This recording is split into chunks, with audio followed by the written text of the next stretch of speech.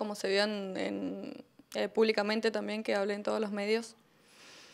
Este, nada, pasó lo que pasó, como ya saben todos, igual este, estuve, sufrí violencia de género, sufrí un intento de homicidio, sufrí abuso sexual eh, y nada, demás cosas.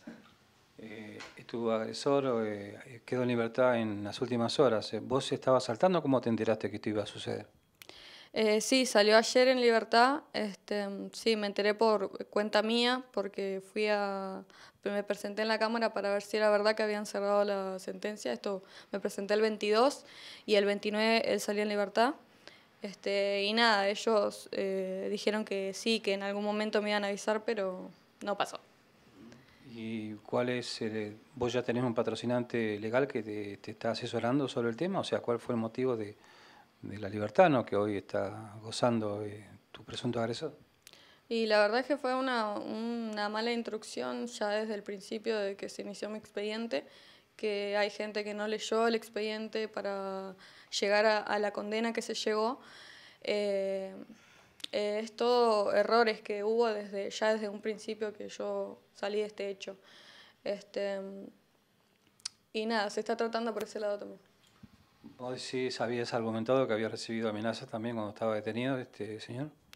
Eh, esto es un, error que hubo más que nada eh, de los medios. Él sí me mandó mensajes eh, desde la detención, a veces hasta 10 mensajes por día, a veces llamadas, pero era psicopateada, era, no sé, en uno de los mensajes que también salió públicamente me manda que vaya a charlar con su mamá, o sea, a tomar mates.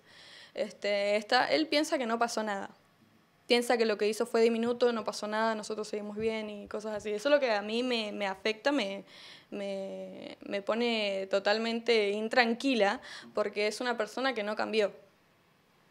A partir de este momento tenés eh, abogados ya que bueno, van a seguir con la causa, van a intentar eh, estar con otra instancia superior, eh, legalmente hablando.